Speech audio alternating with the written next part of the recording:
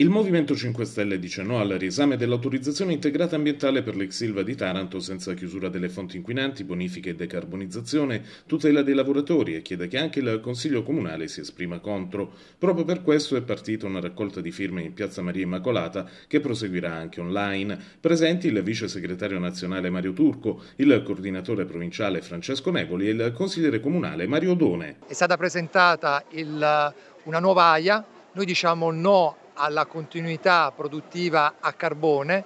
Io vorrei ringraziare innanzitutto i nostri attivisti di Taranto che hanno deciso questa petizione.